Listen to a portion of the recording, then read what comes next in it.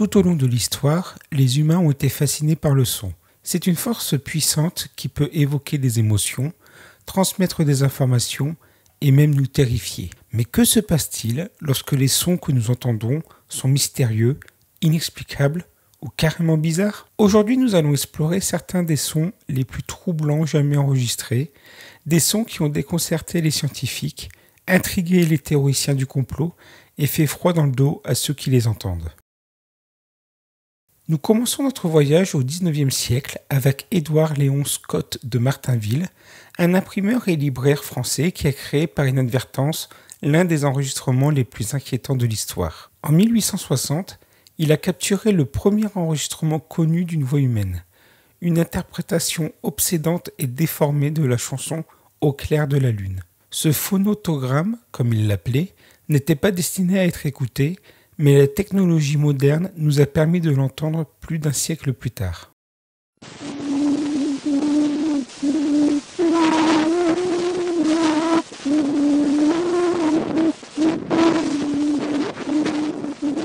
Le résultat Une voix fantomatique, presque surnaturelle, qui semble résonner d'outre-tombe.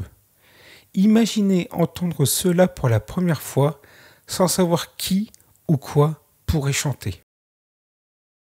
Avançons jusqu'en 1991, lorsque l'Administration nationale des océans et de l'atmosphère des États-Unis a détecté un son étrange émanant des profondeurs de l'océan Pacifique. Connu sous le nom de upsweep, ce son est un bruit à bande longue et étroite dont la fréquence monte et descend. Il a été détecté de manière saisonnière, mais sa source reste un mystère.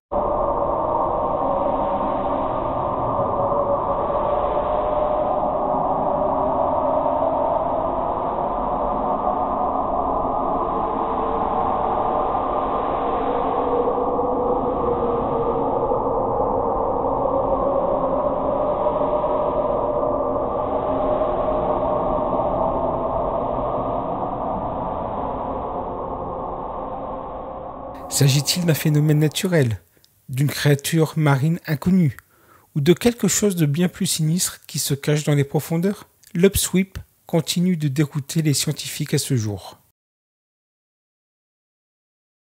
Plongeons plus profondément dans les mystères de l'océan avec le chant d'une baleine inconnue, souvent appelée la baleine à 52 Hz. Découverte à la fin des années 80, cette baleine chante à une fréquence inhabituellement élevée de 52 Hz, bien plus élevée que celle de toutes les espèces de baleines connues.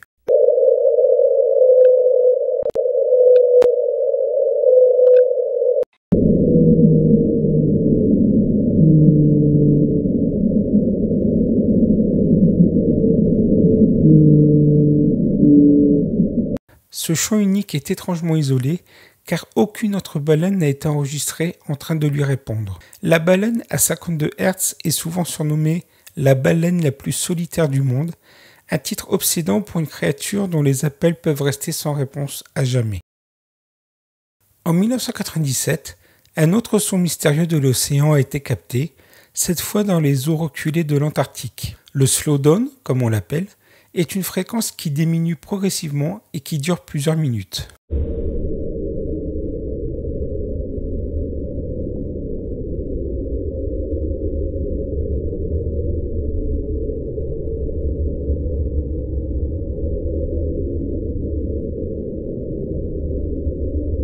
Certains suggèrent qu'il pourrait s'agir d'un iceberg s'écrasant sur le fond de l'océan, raclant le sol tout en ralentissant jusqu'à s'arrêter totalement, tandis que d'autres proposent des explications plus énigmatiques. Comme l'upsweep, la véritable origine du slowdown reste non résolue. L'océan recèle d'une autre énigme effrayante, le son Julia. Enregistré en 1999, ce son ressemble à un gémissement lointain, presque lugubre. Il doit son nom au technicien d'enregistrement qu'il a entendu pour la première fois, mais sa source est encore inconnue.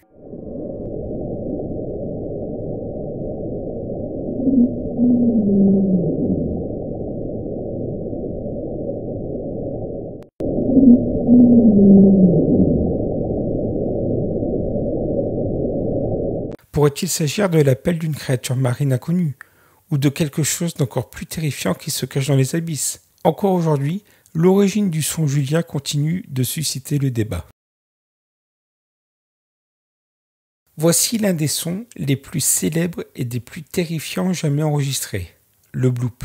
Capté par le NOAA en 1997, le bloop est un son de très basse fréquence qui a été détecté dans le Pacifique Sud. Il est si fort que des capteurs distants de plus de 5000 km l'ont enregistré. Au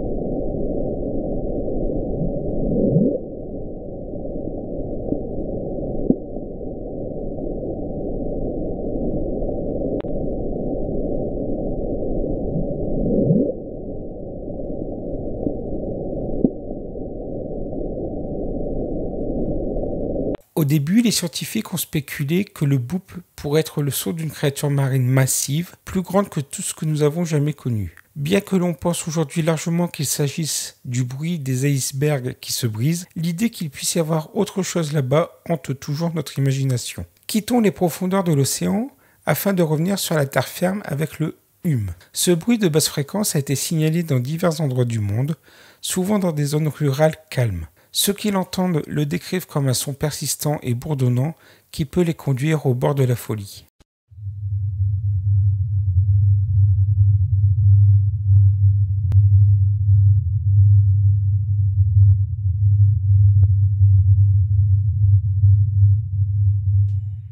La source de ce bourdonnement reste insaisissable. Certains accusent un équipement industriel, d'autres suggèrent une explication plus paranormale. Quelle que soit la cause, le bourdonnement est un son qui a laissé des traces sur ceux qui l'entendent.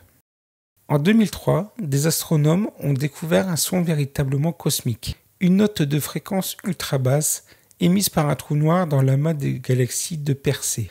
Ce chant se situe à 57 octaves en dessous du do médian, bien en dessous de la portée de l'audition humaine.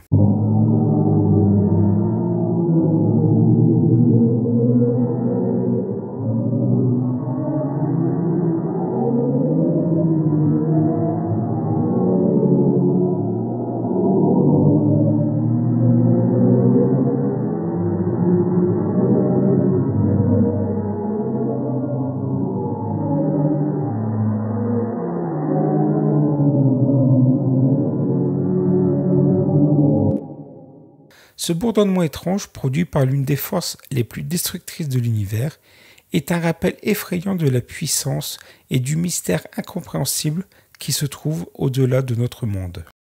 Plus près de chez nous, la sonde Cassini de la NASA a capturé les sons étranges des anneaux de Saturne en 2002. Ces sons sont créés par les interactions entre les anneaux de Saturne et son champ magnétique, produisant une symphonie à la fois belle et troublante.